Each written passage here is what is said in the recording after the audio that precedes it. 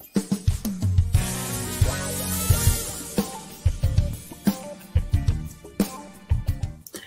Welcome to Brain Chat with the Nerdy Neurologist. I'm Dr. Mitzi Joy Williams, and I'm your board certified neurologist and MS specialist. My mission is to engage, educate, and empower those affected by MS to become an active part of their healthcare team. Here on Brain Chat, we'll be talking all things MS, health and wellness, advocacy, and we'll throw a little bit of music and music therapy in there as well. Thank you so much for joining us, and stay tuned for the next episode.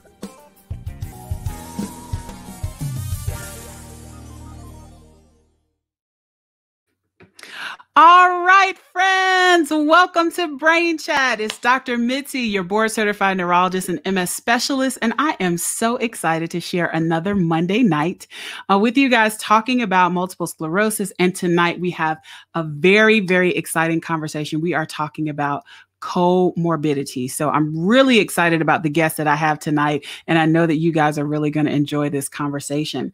So I thought that this was really important for us to discuss because since the pandemic started, everybody's been throwing around this word comorbidities, right? We talk about it in relation to COVID, in relation to increased risk for outcomes with COVID, et cetera, et cetera. So all these comorbidities that we talk about, I want to talk specifically about how they apply to MS and what we've learned about comorbidities or other conditions and the increased risk for MS, as well as the outcomes related to MS. And most importantly, what you can do to help yourself and to empower yourself and to deal with some of these comorbidities so that you can have the best outcomes possible with multiple sclerosis.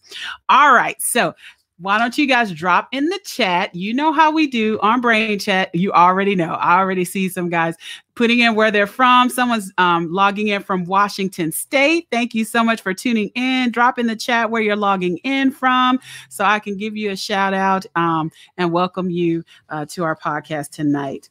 All right, so I'm going to start by introducing our special guest. All right, so I'm going to start with Dr. Ellen Mowry. She is a professor of neurology and epidemiology at Johns Hopkins University. She completed undergrad in biology at Georgetown and med school at the University of Rochester Rochester. She did a neurology, uh, she did her internship, neurology residency and fellowship. Sorry, I got some music in here somewhere. All right. Little Stevie Wonder never hurt anybody. Okay. All right. Let's turn off Stevie. Sorry about that, guys. All right. So let me start over. Dr. Mowry. All right. She's a professor of neurology and epidemiology at Johns Hopkins. Um, she did her internship neurology residency at University of Pennsylvania and a fellowship in MS, as well as a master's degree in clinical research at the University of California, San Francisco. Her research focuses on environmental factors that influence the risk and prognosis or outcome of multiple sclerosis, as well as improving outcome measures for use in the clinic and in clinical trials. So this is right on time. She is a principal investigator of several trials, including one related to vitamin D. Um, as well as cognitive impairment and also traditional versus early aggressive therapy in multiple sclerosis. She is the co director of the Johns Hopkins MS Precision Medicine Center of Excellence. So we're very, very excited to have her on. I'm going to bring her up in just a moment. And we have Dr. Fatima Cody Stanford, who is a longtime friend of mine, um, as well as one of my sorority sisters, my line sister. So we go way, way back. And so Dr. Stanford practices and teaches at Mass General or in Harvard Medical School and is one of the first fellowship trained obesity medicine physicians in the world. So she is an expert to talk about obesity specifically which is a comorbidity that is related to multiple sclerosis. She received her BS and MPH from Emory University, and uh, she received her medical degree from the Medical College of Georgia um, School of Medicine, and she also received an MP H from Harvard Kennedy School of Government as a Zuckerman Fellow in the Harvard Center for Public Leadership. She completed her obesity medicine and nutrition fellowship at Massachusetts General Harvard Medical School after finishing internal medicine residency and pediatrics residency at the University of South Carolina. She has many, many accolades. She is an amazing person. She's worked uh, as a health communications fellow at the CDC, as well as a behavioral sciences intern at the American Cancer Society Society.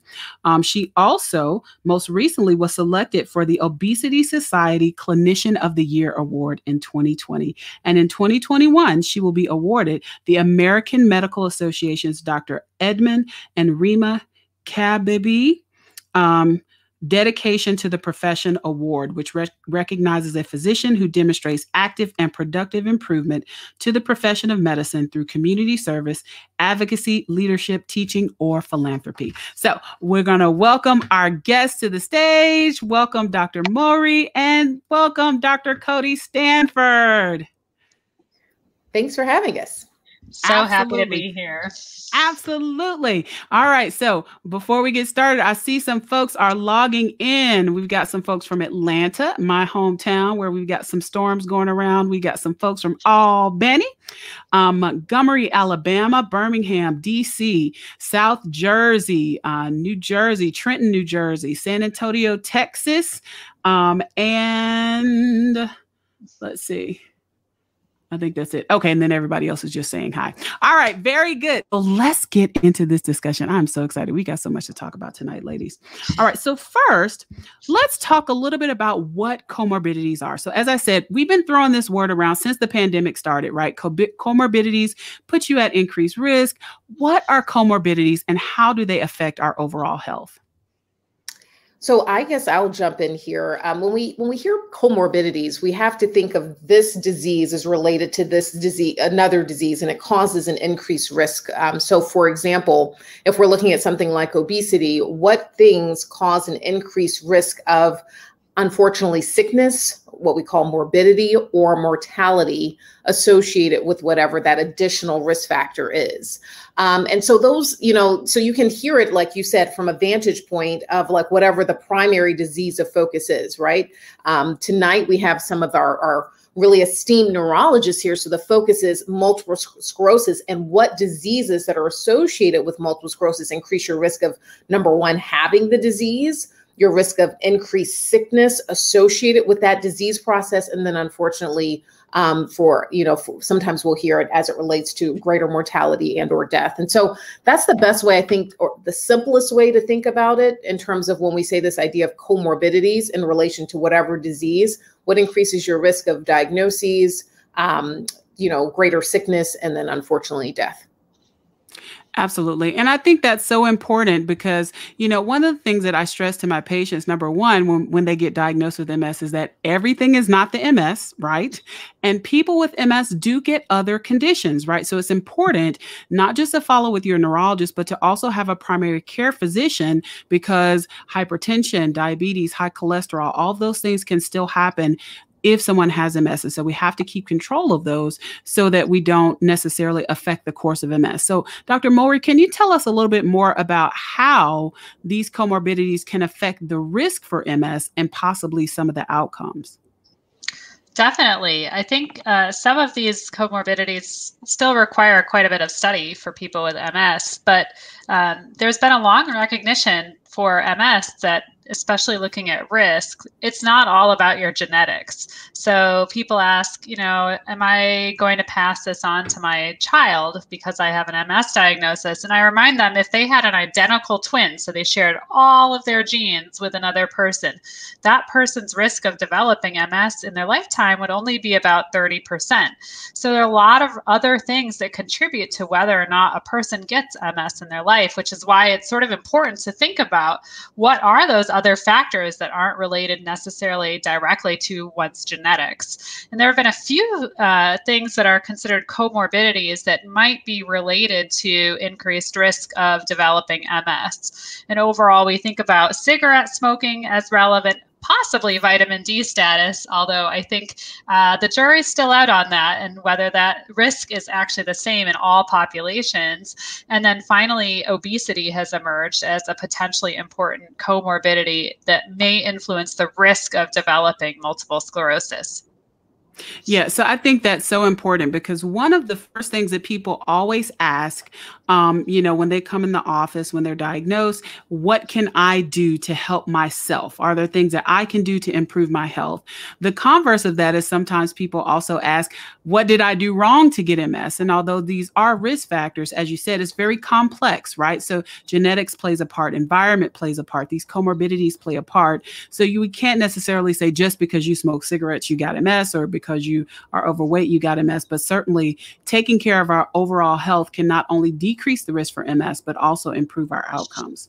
So let's talk a little bit in a little bit more detail about a couple of these comorbidities, and then we'll talk separately about obesity and we'll kind of pause there. But let's talk a little bit about, um, let's start with vitamin D, right? Vitamin D is one of those hot topics. One conference we go to, vitamin D is everything. The next conference we go to, vitamin D is not important. This conference, it's this. So just tell us a little bit, since especially since you're, um, you know, the primary investigator for a trial related to MS and vitamin D. Tell us a little bit about our understanding of vitamin D and what we should be doing, um, you know, to maintain our vitamin D levels or how they affect MS overall. Mm-hmm. Yeah, I think vitamin D is a hot topic, and it's one of the first things I enjoyed studying in people with MS. Uh, there were several uh, early studies that suggested a possible role for low vitamin D as an MS risk factor. First, just sort of ecological studies. People observed that MS was less common the closer people lived to the equator. And so they said, well, what else varies with where you are on the latitudinal scale and they said you know sun exposure. And then what relates to sun exposure? Well most of our vitamin d unless we're popping supplements actually comes from exposure of the sun uh, to the sun and the vitamin d is manufactured in the skin. And that's where the vitamin d story sort of got started in ms um, and there are a number of studies looking at this and saying yeah people with ms um, you know have lower vitamin d levels than people without ms but then people said well you know folks with MS don't really like the sun. It makes them feel hot and tired. And so maybe it's just because they have MS and you're measuring it too late. And then there were some studies that tried to capture blood samples from people before they developed MS and did show, you know, even five years prior to the first onset of symptoms of MS, vitamin D levels were a bit lower in those who did go on to develop MS compared to people who never did. Um, it's really important to point out, I think, that that that still could be like a reverse causation. We know that people with MS have a long period of time before they have classic neurological symptoms where stuff is feeling a little off and there can be a lag in diagnosis. And it still could be that avoidance of sun is something that comes kind of early in that prodromal phase. Also of interest, I think, is that more recent data have looked at uh, more representative populations than those early uh, studies did, um, the early studies really only included white individuals living with multiple sclerosis and where they found this association. And it's relevant because, of course, skin pigment actually uh, prevents some of the UV from actually getting into the skin and converting uh, the pre vitamin D uh, in the skin down the pathway towards making vitamin D. And there were two really seminal studies that demonstrated that in Black or African American individuals and people who identify as Hispanic or Latinx, that link between low vitamin D level and subsequent MS risk may not be as strong. And it calls kind of into question the whole bit of science. And maybe there's something about sun exposure, or maybe it was just this sort of false uh, association um, mm-hmm. that you know i think that there's still a lot of work to be done there but it, it definitely calls uh, into recognition the importance also of studying it in a much more representative and rigorous population Absolutely. And then there are also questions are we checking the right test when we're checking vitamin D, right? So in other populations, should we be checking another subset of vitamin D? You know, I think there's a lot of work um, that needs to be done in that space, but certainly, you know, kind of the rule of thumb for many of us in the space and many of us in medicine in general is if it's low, we replace it, but we don't have enough information to say that everybody should just take vitamin D. Um, I think this has also been a hot topic during COVID because a lot of people have been taking vitamin D supplementation um, during COVID as well, because there were some, you know, anecdotal reports that it may help outcomes as well. Is there anything you want to add about vitamin D in the general population? Yeah, you know, Absolutely. I think, you know, vitamin D won't hurt you, you know, so having right. adequate vitamin D is not a bad thing. So if you happen to be on supplements and are confused about whether or not, you know, it will or will not help you with regards to X disease, because this has been studied, I think, widely with a lot of diseases. I, you know, we're talking about MS, obesity. Um, we do know that patients with obesity do, on, on average, have significantly lower vitamin Ds. And the factors there, in addition to um, what was pointed out by Dr. Mowry is, um, you know, when you're looking at adipose or fat tissue, you can imagine that there's it's harder to get through the skin um, if you have more mass, right? Um, but there's other reasons that we, you know, posit as to why vitamin D deficiency is more prevalent in those that have excess weight. Um, and so, you know, the thing is, it won't hurt you. You know, are we going to get into a situation of people having, oh, you know, excessive vitamin D levels? That is not something that we typically see. Um, so, you know, I would say, you know, on, to err on the side of caution, and since it has been proven beneficial in some disease um, statuses with really, you know, definitive confirmatory evidence, then, you know, why not just make sure that we're supplemented appropriately? Absolutely. And I think I may have met one patient in my whole career who had a normal vitamin D that was not on supplementation. I mean, they may have been from California, like a surfer or something like that. But literally, I have never met a person with a normal vitamin D level who was not taking supplementation. And I had a couple that were overdosing where it was like off the charts, like they couldn't measure it. So we had to back down. So we get a little bit of that more with B12 than vitamin D, but still, yeah. you know, so just make sure if you're taking supplementation that you're following up with your physician to have them check your levels to make sure that whatever you're doing is adequate and make sure that you're not you're not getting too much. So excellent discussion about vitamin D. I know that's a hot topic. What about smoking? So let's talk about smoking, right? You know, so interestingly enough, when I was in med school, the rule of thumb was if you had any test question that had a risk factor on it, if smoking was on there. If you marked it. it. nine times out of 10, you'd be correct, right? As a risk yeah. factor for many, many diseases. And we often associate it with lung disease, right? But there are studies that suggest that smoking, nicotine specifically, because now I get lots of questions about smoking other things besides cigarettes, right? Um, but nicotine specifically can potentially increase the risk for um, MS and also speed the, the transition from uh, relapsing MS to secondary progressive MS. Can you tell us a little bit more about that, Dr. Mowry? Yeah, definitely. I agree. Uh, that is the one thing that you know you're always like, oh, I know one thing I can make advice about. Absolutely. Right. Uh, right. But you're absolutely right. It has been linked not only with the risk of MS, but also having more frequent relapses and a greater risk of long-term problems from MS. And you know, I think there are probably many factors by which smoking may play a role. It likely increases inflammation just in general in the body, um, and so that can, of course, increase the risk of relapses and new white spots and things like that. But my suspicion also is that one mechanism in folks with MS that it, it creates long-term problems is by creating a metabolic dysfunction over time, small strokes in the brain, other things that may not even be that specific to MS. But if you have MS and it's done some damage to the brain, and of course, as we get older, you know, we also uh, have our brain sort of shrinking a little bit with time. And then you start adding in the smoking, which increases the risk of big and small little strokes over the brain. You know, all these things can kind of compound and accelerate the clinical effects of the damage that's going on in the brain. Um, there was that really interesting study from Sweden, I think uh, several years ago, that looked at like how people get their nicotine. In Sweden, I, they use a lot of snuff also, like oral snuff, mm-hmm. and they mm-hmm. demonstrated that, that that actually sort of counterbalanced people who use that and a little bit of cigarette smoking didn't really have that increased risk. It really was people who were inhaling the cigarette smoke. And mm. you wonder if there's something, you know, we talk a lot in MS about the gut microbiome and how the bacteria in the gut can interact with the immune system to set off autoimmune diseases. But I think, you know, there's also a lot of interest in the the lung microbiome and in the you know bacteria in the airway and the immune system in the airway and does cigarette smoking cause an irritation there that also leads to immune system activation i think a lot a lot of work to be done but uh, but the test question answer will still be stop smoking. Absolutely. And I think it's something very important to counsel our patients about. You know, I think I also counsel people, especially with smoking and obesity, you know, with mm-hmm. um what's the word that I want to use uh, with some humility because it's not as easy as it seems, right? We're in the middle of a pandemic. People are dealing mm-hmm. with many, many stressors. People maybe who had given up certain habits may have picked them back up. And so, you know, mm-hmm. I think it's important for us to counsel people to give them the information, you know, but certainly to give them also a little bit of grace because everybody's having some difficulty, um, especially with, um, you know, the stress from COVID and those COVID pounds. So let's switch gears and let's park a little bit on obesity. All right.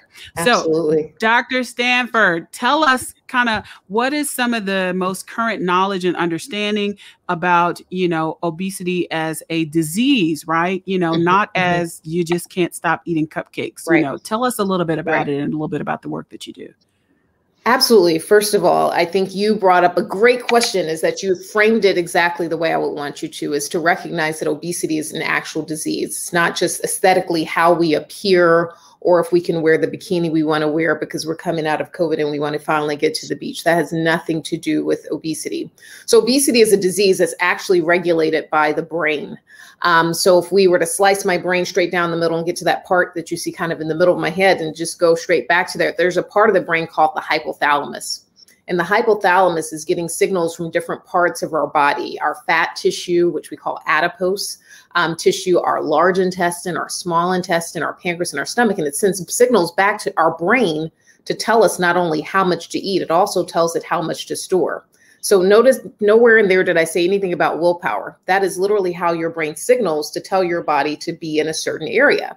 Now, does this mean that like I don't pay attention to one's diet or physical activity? No, but a lot of those are even influenced by how the brain signals. My desire to be active, my desire to be inactive, that can be largely influenced by these signaling pathways. And when patients tend to struggle with excess weight, they're typically signaling down a pathway of the brain and don't you guys don't have to remember this i do but it's called the agouti related peptide pathway which causes lower formation of something we call bdnf which is brain derived neurotrophic factor. If you have low levels of that you phenotypically meaning how you look expresses that you have excess weight Whereas people that are lean have high levels of it and they can go and eat a box of donuts, i.e., my husband, and then still be 160 pounds and six feet tall. I wish he were here listening to me because he would look at me with a frown on his face, but he's not here. So if he doesn't but go back, aerobics helps also. The aerobics you guys do helps also. yeah. So I have been to help. an aerobics class yeah. with you and your husband, and it is very intense. Like I had very to take several breaks in the back and sit down. you guys are very intense on the workout regimen. We are intense. And that's really good. So the activity piece, right, is great for weight maintenance. But unfortunately, the messaging that we as docs often serve to patients is, oh, go exercise to lose weight. That's really the wrong message to be selling because on hmm. average, mm-hmm. most people don't lose a lot of weight from activity. They maintain their weight which is also good. So even if you're at, let's say, 300 pounds, 300 is not 350 if we can maintain you here, it may not be where you want it to be, but what we can do to keep that you from that weight gain. So you brought up an important question. You talked about weight gain and COVID. Um, and so there was this big study that came out in the American Psychological Association about two to three weeks ago that said on average, US adults gained 29 pounds during the pandemic. That was average. Mm. Millennials actually average was like 41 pounds from the pandemic. Mm. And so you were like, gosh, and everybody, and then the, the whole thing that's been out in the news is like, oh my gosh, it's because people weren't moving. Okay, that was probably a contribution, but I think what you said earlier, Dr. Williams, was actually much more important. The stress associated with the pandemic led to deposition of adipose. Adipose, again, you guys remember adipose is a fancy word for fat. But when we have stress, we have an increase in inflammation in our body, characterized by different inflammatory markers. And what that tells our brain to do is to store fat stress mm-hmm. in our historical development if we think about anthropology as we went, went from you know non-human primates to primates and etc stress usually meant that a famine was coming okay? And so our bodies went to go store to defend against the famine that was coming. The problem now is the famine doesn't come right? So the famine is not there. We have food insecurity which is another story we can talk about a little later. But the whole point is is that the stress this idea that during this pandemic, regardless of who you are, regardless of your race or ethnicity, your socioeconomic class, all of us went underwent and still maybe are undergoing such significant stress that that caused our body to want to hold on to more fat. And so, is that your fault that the pandemic happened? I wouldn't say it is your fault. Was it is your mm. fault that you have more stress associated with pandemic? I would say no. I mean, this is something that no one has experienced during their lifetime that's listening tonight or will listen in the future. We had our bodies went into storage mode. It went into storage mode. Maybe we, there was a less activity plus that plus the stress. I mean, it was just a recipe for disaster. And so, unfortunately, what we do know about obesity and COVID is that we talked about obesity being a chronic inflammatory condition. And we know that COVID is an acute inflammatory condition, and those don't play very well together in the playground. And so, what we do know is the number one risk factor for death for people under the age of 60, so 60 and below, is obesity from COVID. Um, three to four times as high as likelihood for those that don't have obesity. So, a major risk factor um, and something that I pay very close attention to, obviously, as someone who exclusively cares for patients with obesity. Yeah, I mean that's such good information. I mean, there's so much to unpack there. I mean, just yeah, I know, you know this transition. yeah, I mean, you know, but everything you said was good. It's just this yeah. transition of thinking about obesity as um you know, a disease versus a lack of willpower. And it's so interesting that you said that because I used to have all these conversations with friends, you know, and I have one friend, let's say, who, you know, maybe drank too much, you know, and I'd be mm-hmm. like, dude, just stop drinking, you know, and then if I wanted to stop eating and lose weight, they're like, well, dude, just stop eating, right? You know, but it's not that simple. You know, it's very sure. good for people to understand that there are signals, you know, telling our brains to do certain things. Um, and so, Dr. Mowry, talk a little bit about how obesity um, affects MS risk as well as potentially MS outcome. Yeah, and uh, Dr. Cody Stanford, that's a really um, awesome synopsis, and I feel like I'm going to learn a lot from you uh, as, as you keep talking. So, um, you know, we started studying obesity in folks with MS and people who developed MS, and then later to look at it as a, an outcome uh, predictor um, not that long ago, actually. And the first studies that I thought were really clever looked at people. Uh, throughout their lifespan and, and how they gained weight and their weight changed over time and saw that people who were obese especially in sort of the late teen years were those who seemed to carry the most extra risk of developing multiple sclerosis um, of course, for you and I, when we are already meeting people who've been diagnosed with MS, we want to know which of these factors that are associated with risk of the disease continue on as risk factors for outcomes. Um, is it something that continues to be worth chasing, or is it something that we say, well, unfortunately that happened, but you know,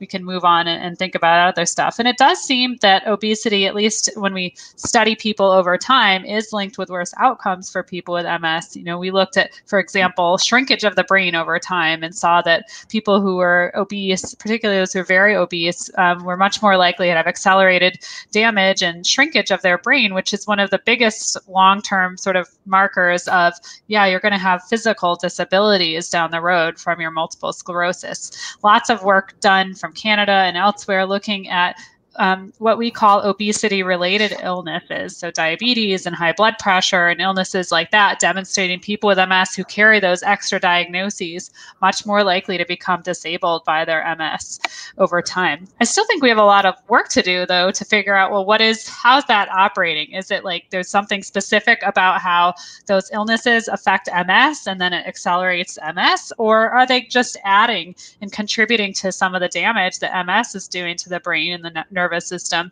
and causing independent avenues of damage that nonetheless kind of accelerate the whole process of neurologic problems. Um, and so hopefully we'll be able to sort some of that out. And I think another area that we have to work on is exactly what you were both just talking about. How do we frame our messaging as physicians so that we don't make our patients feel guilty or bad about it, uh, but that we can make sure that they get the help they need to make the changes uh, necessary to combat some of these um, conditions. Yeah, and I think, you know, what both of you said is so important. And I think the other piece that is missing is that sometimes, or that we haven't addressed yet, is that sometimes with these other comorbid conditions, it makes it more difficult to figure out what is the MS versus what is this other condition. You know, mm-hmm. I kind of describe it as this never ending cycle, right? You know, Someone may have some numbness in their leg. Is it diabetic neuropathy? Is it related to their MS? Is it a combination of both of these things? You know, and so it can be very difficult sometimes, especially if people have had these conditions for a long time or the conditions are not well controlled. You know, what can we, you know, how do we figure out what part of it's the MS versus what part is related to these other conditions? And again, very, very important. Um, and I stress to all of my patients that you do need to have a primary care physician, you know, um, because you do need to have regular screenings. You do need to have somebody monitoring you and following you and helping to address these issues um, for your overall health. And so, as we're kind of on the 30 minute mark here, I want to spend the next couple of minutes talking about what we can do, right? One of the things that's most important to me um, as a provider and is one of the reasons why I started this podcast and why I do much of the education that I do is because I want people to feel empowered. I want people to know what they can do to help themselves. You know, certainly MS is a condition where many people may feel hopeless. Um, you know, there's this uh, thought that, you know, there's not much we can do about MS because we it doesn't have a cure. But whenever someone tells me that, I said, well, name five diseases for me that have a cure right? We manage it, right? We manage it like we manage other conditions. We have a little bit more at stake because we're talking about your brain and your spine, but we manage it like we manage other things. So, what are some tips that we can give people um, first, well, first let's talk about it from a healthcare provider because I know I have some colleagues here in the um, that are on the podcast. What can we say to our colleagues about how we approach the management of obesity and how we approach managing some of these risk factors to help people? And I'll start with you, uh, Dr. Cody Stanford. Absolutely. So, first of all, with obesity, just first of all, we have to know that it's a disease. And unfortunately, we as doctors received minimal education about how to treat the most None. prevalent chronic disease. Right. I know because I just published several papers, but I was trying to be nice. Um, I published Help a paper us. that came Help out us. in the International Journal of Obesity just a year ago, where I looked at what medical students residents and fellows throughout the entire world receive in terms of training. And let me tell you, no country is doing a good job of educating any person. So you can't be like, oh, Sweden does a great job. No, we have no countries. I just published a paper that came out just a week and a half ago in the Journal of the National Medical Association looking at coverage of obesity on all of the medical board examination, neurology, pediatrics, internal medicine, surgery. Nobody does a good job.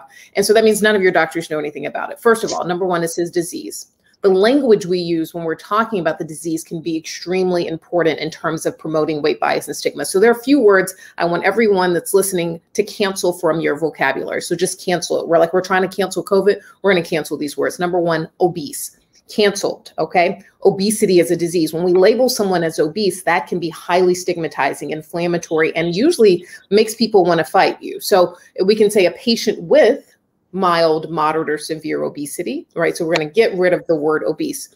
Morbid hmm. as it relates to obesity. So morbid obesity it's really interesting that we use morbid to define obesity, meaning greater sickness associated with obesity. But we don't do that with MS, morbid MS. We don't call it morbid MS or morbid COVID or morbid heart disease or morbid cancer. And so just the language that we use surrounding this disease is highly inflammatory and it's built into how we even code as docs. You can go and search for morbid obesity, it's there. You can go for, mm-hmm. for obese, that's there. These things are so inflammatory and are based on our lack of knowledge. Like you said, the zero education that we receive as docs. So, number one. Number two, just like you talked about MS being a chronic disease, we don't cure obesity. So, I can send you to bariatric surgery and improve greatly your level of severe obesity. And maybe, maybe you come down to mild obesity, maybe you don't have obesity anymore, but it doesn't just go away. Let me tell you, your brain remembers your set point. Okay. Mm. And so if your set point was 300 pounds before surgery, yes, we bring you, and let's say we bring you to, to 195 and you're feeling really good at that level. Let me tell you, it doesn't stay there. The brain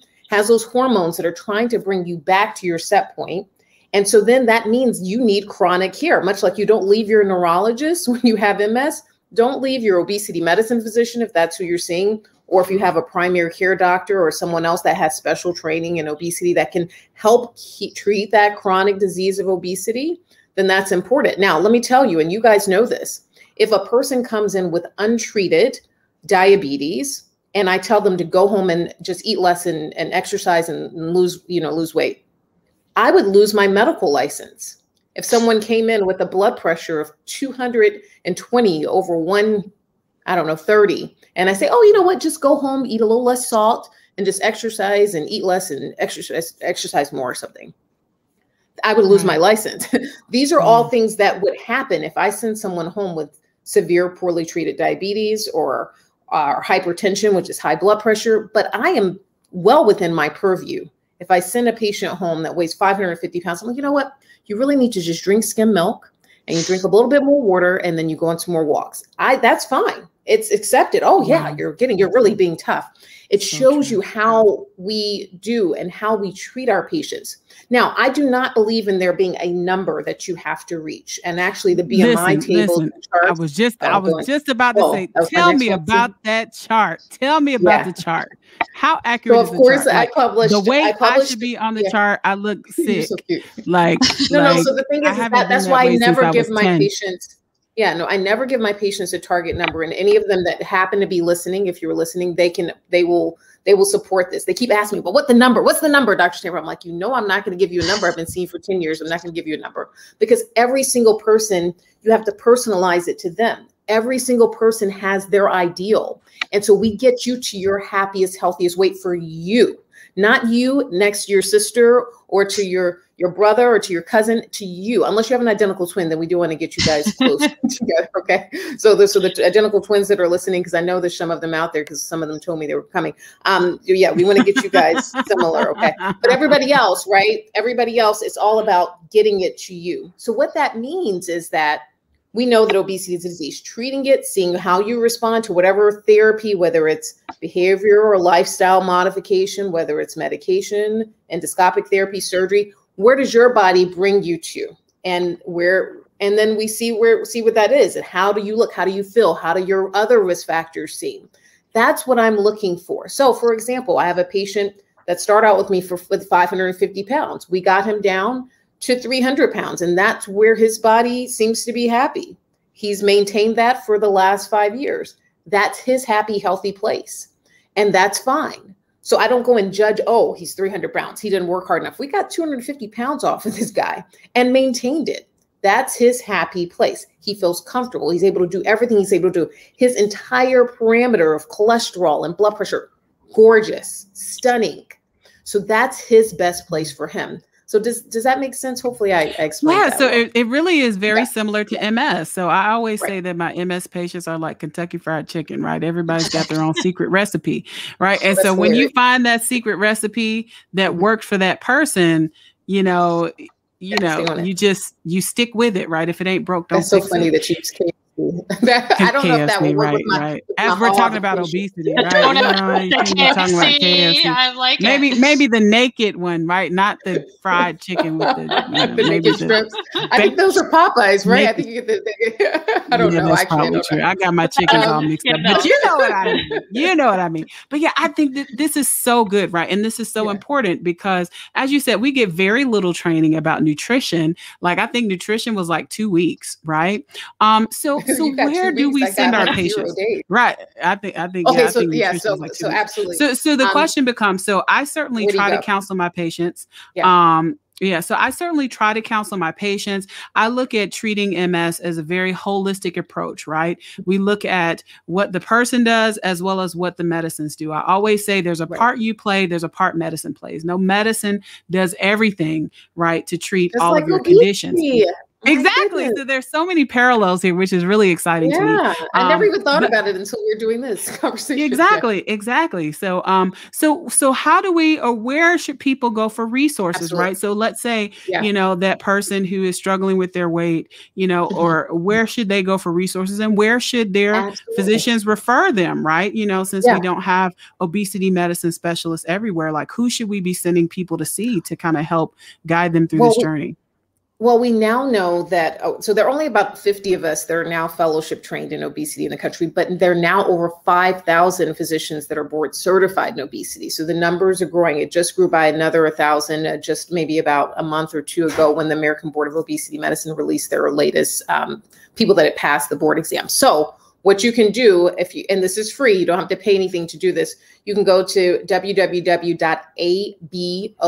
so alpha bravo i don't know what the o and m are for those of the, the um, um, and then if you go to abom.org you can look up a physician by zip code. And you can see physicians that are certified by the american board of obesity medicine in your area. And you'd be like oh i had no idea. There's someone like right down the street that's a good place to go. So you know these people that are um, specifically catered towards addressing obesity within the population. That's number one. Number two, um, I think they're great resources. I wrote a book called Facing Overweight and Obesity, a complete guide for children and adults. Um, that's on Amazon. So if you have Amazon Kindle Unlimited subscriber, it's free. For those of you who aren't, then there obviously is a fee to get to it. But my goal is to cover obesity across the life course as an mm-hmm. internist, as a pediatrician, I take care of patients between the ages of two and 90.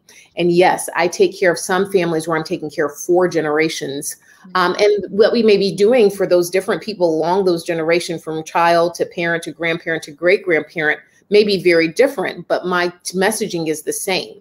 This is a disease, it's a highly heritable disease. We know that weight is more heritable than height, meaning that if parents have obesity, the likelihood their children will struggle whether or not you optimize what you're doing here once they're actually born and, and be living beings is on the order of 55 to 85% likelihood of having the disease of obesity. That's even with how you can you can be doing 20 hours of exercise, you can be, you know, eating the, the only organic foods grown in your garden, all of these things. It's highly heritable, more heritable mm. than one height. So, you know, we learn mid-parental for the uh, the physicians that are out there, we learn mid-parental height, right? We, we calculate that on our peds rotations that we're like, oh yeah, and we do this.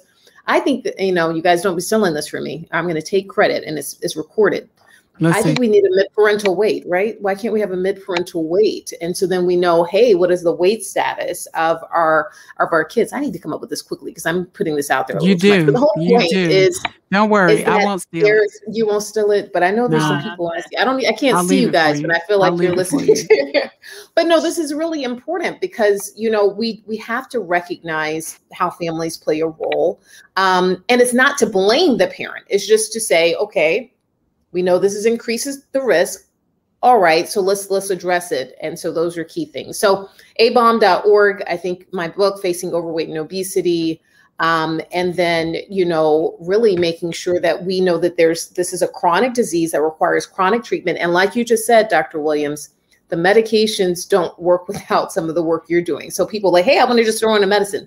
Okay, yeah, that's I'm happy to start a medicine, but there's never been a medicine that's been tested outside of making lifestyle modifications, right? So the, right. the, the, the, medicines are complementary. They act on different parts of the brain. So getting back to how the similarities, we need to do a paper on that, you guys. We do. On, I know. On the, right? Wheels are turning. But it acts on I the know. brain, right? So let's get, if we know that these medications act on different parts of the brain to bring weight down, if you stop the medicine, what happens? Your weight returns, right? So the key thing is, is that if we use a medication, much like in MS, you don't just stop the medicine and be like, oh, there's no MS anymore. It just went away. No, that's not how that works. It's very mm-hmm. similar to obesity. If the medicine works, if it works, because I know that you guys have a lot of trial and error for finding the right regimen for a patient.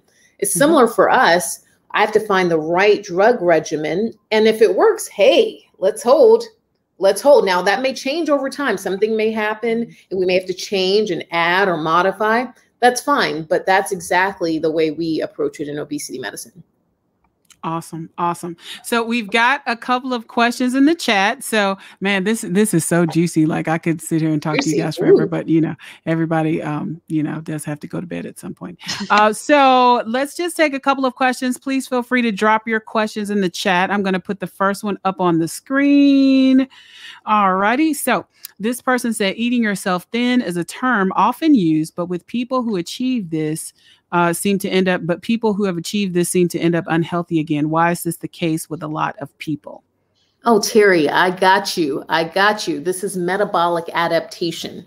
So remember, and so I'm going to just use it like this. I'm going to start using car. My dad trained me like I was a boy. So I'm just going to sound like I'm talking to guys, but um, this is what happens. Think of your body as like a gas tank. And let's say you're a patient or a person, uh, everybody's patient, you're a person that has always had more excess weight your gas tank is the size of like a tractor trailer. Now you may have some really little people, and that's great. My husband, we're gonna put him in this category, and his gas tank is the size of a Prius, right? So he has a Prius gas tank, and then we have like a tractor trailer gas tank. Now he might try to like eat to gain weight. I mean, he doesn't do that, but let's say he tried to eat again. He then he's like finding that, you know, but his gas tank won't go much higher. So his kind of brain keeps him in this small status. The same happens for obesity. So when you have a tractor trailer size gas tank and you're like, oh, well, let me lose weight, and you go into some strict diet that's not sustainable over the life course, you drop weight acutely, but the brain is not fooled. It goes back to fill the tank. How does it do that?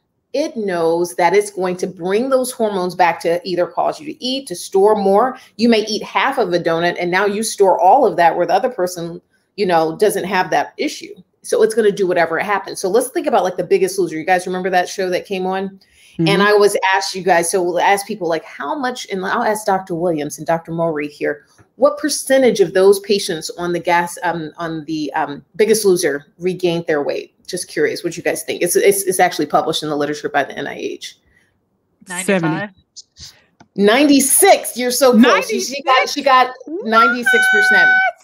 So let's talk about why that happens. On average, when they went into the show, their resting metabolic rate was about 3,000 calories, right? They all had severe obesity, 3,000 calories. They did strict, something that can't be maintained, nine to 10 hours of exercise a day, severe caloric restriction, it brought them down, okay? It brought them down, but what did their resting metabolic rate, which is how much they burn at rest and activity? It went from 3,000, just burning that, to 800 calories. So if they eat 801 calories, Dr. Williams, what happens? They're going to store it they're going to store it. They're going to gain weight. They're going to come back very quickly because the brain knows. The brain is like, what in the heck are you doing? Nine hours a day of working out? That's ridiculous. You can't maintain that forever, and you don't. And so mm-hmm. the brain does what it wants to do. It brings it back. It fills the gas tank back up. So it wasn't their fault. Their brain remembered they were 300 pounds. They wow. got to 190 and the brain's like no that's not where we're supposed to be. Let's let's work to get back up here. And then it comes back. Often it surpasses that. Right now they're 305 or 310 and then you're like well how does that happen? Because the brain gets upset. It's mad at you. It's going to punish you. Weight cycling. When you lose weight and gain weight usually come to a point that's even higher, higher than where you started.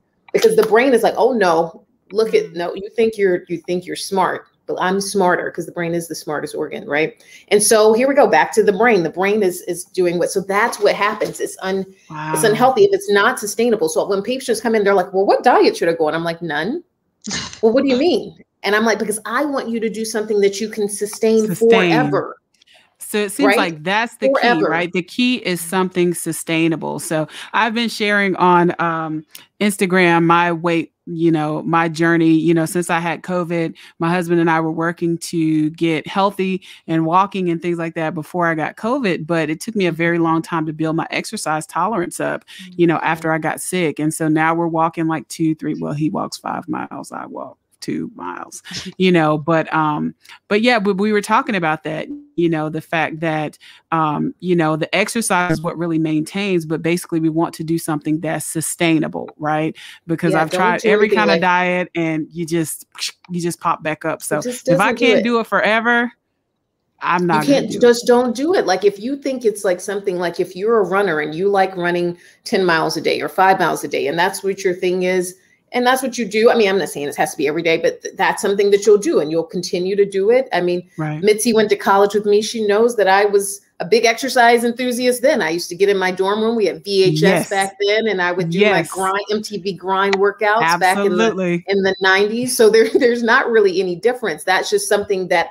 so you know, here we are. We won't obviously you can add how many years a little bit is. later just We're a little still, bit later, you know, like 21, 21 plus, right, yeah. you know, just a couple, we just graduated from college and it's sustained, it's sustained, but that's, but that's part of just like who I am. And so it feels comfortable to me. That's not everyone. And so I don't ever right. force my regimen on someone else because that's not that's not where they are. I say I try to say like, well, what exercise do you like to do? Many say oh, I don't like anything. I was like, okay, wait a minute. So do you like to walk? And they're like, oh, I kind of like walking. Okay, well then that's your thing. That's your go-to. Let's make that where you are. I don't need you to go and do the craziness that I do, which Mitzi's seen. That's not that's not where we're not going to do that. That's not going to be sustained for you. You're going to maybe hurt yourself the first day and then then you're out for another six months or a year. That's mm-hmm. not the way we want this to go. Similarly, mm-hmm. so I got a dress surgery because I I, will be remiss not to do this, and I promise. There's I'll a question about surgery and weight loss procedures too. Mm-hmm. Oh, so okay. Well, then I'll, I'll be quiet. Then okay. Well, then I'll. I don't know. I want to answer that. I'll wait for that. I'll well, wait. before before we go to the last couple questions, Dr. Mowry, tell us about some of your approach since you deal with this specifically related to MS. Tell us about your approach in um, counseling your patients, and you know some of the things that you've seen that have been successful for your patients with MS. Well, I mean, I won't pretend to say that I'm trained in obesity medicine and know exactly what the right things to do are. But things that I really start to think about are the fact that we know, for example, that sleep disorders are overrepresented in people with MS. And at least based on my understanding, illnesses like obstructive sleep apnea can actually cause weight resistance, right? Um, so when people are concerned about their weight or whatnot, you know, I usually start to do some screening questions about sleep and sleep quality. And I send a lot of people to get sleep evaluations, and a ton of people have um, undiagnosed sleep apnea. And, you know, these are the kinds of things that we can sort of chip away at to improve metabolic health um, as well as quality of life, because it stinks if you don't feel well rested for all of us, never mind when you have MS on, on board and all the MS related fatigue as well. So I think that's an important component. You know, exercise, I always tell people exercise is not going to cause you to lose weight, but it is really important for the health of your nervous system. We know that people who exercise in midlife are less likely to develop other neurodegenerative conditions, Alzheimer's and Parkinson's and things like that. Plus, it's a great treatment in the short term for people with MS to reduce anxiety and improve sleep quality and reduce fatigue. So I think that exercise is something I think of as an independent lifestyle factor, not specifically related to a treatment for obesity per se, but important for your overall health and the health long term of the brain.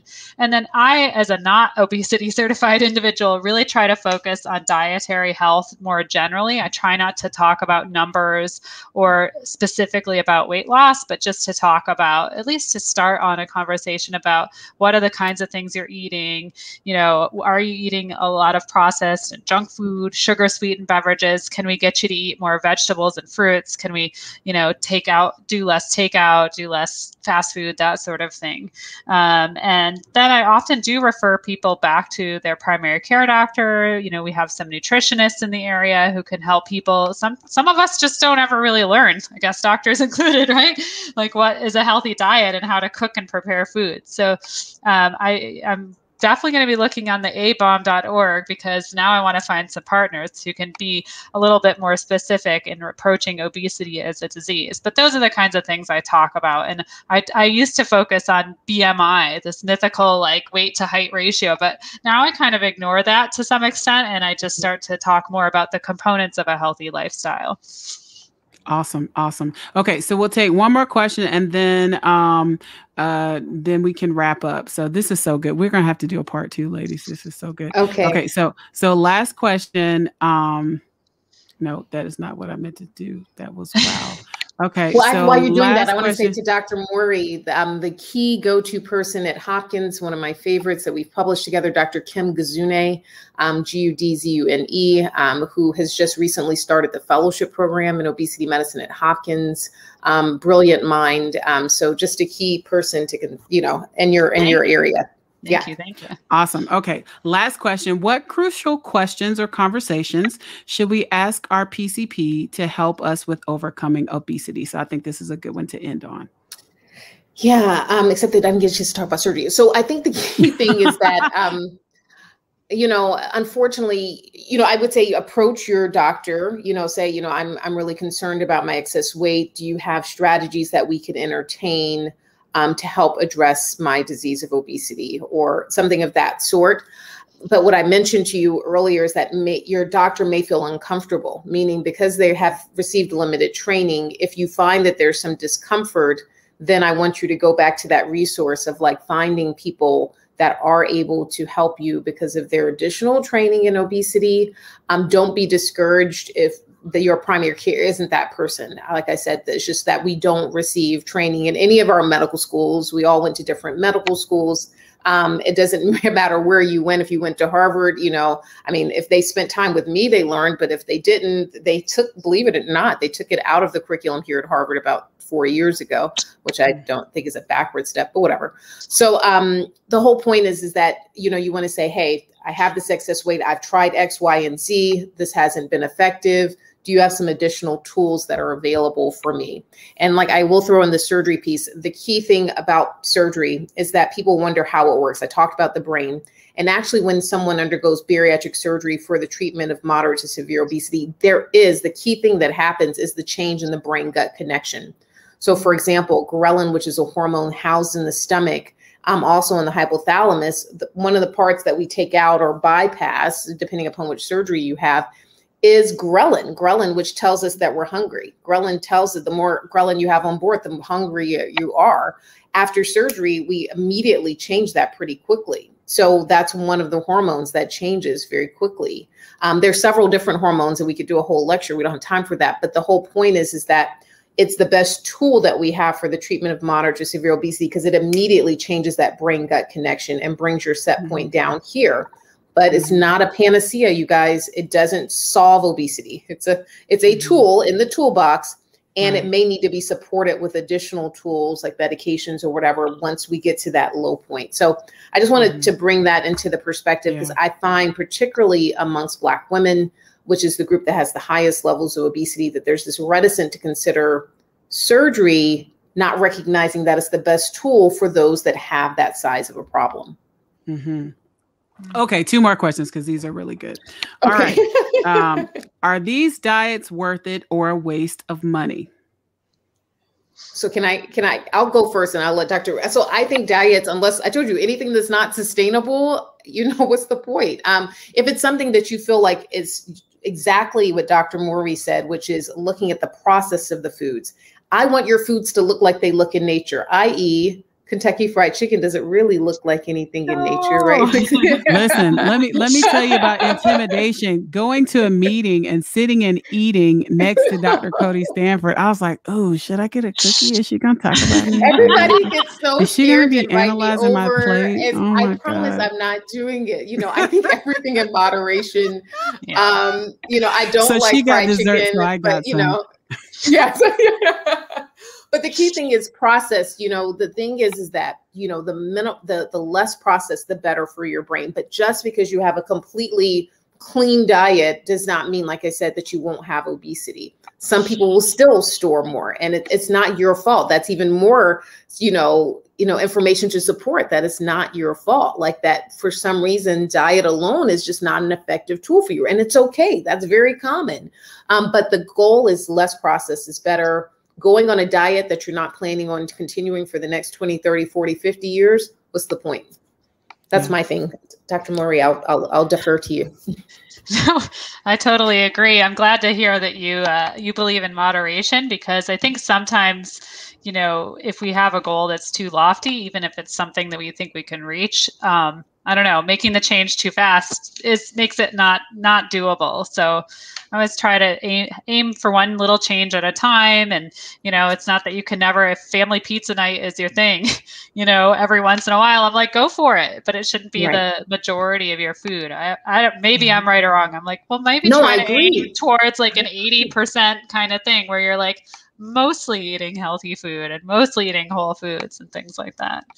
Yeah. I want to tag on to that point that she just yes. made, which I thought was extremely important, which is um, that's why I don't let patients tell me that they have their goal weight also. So when they tell me I want to lose 100 pounds, I like totally ignore them because what if they lose 64 pounds?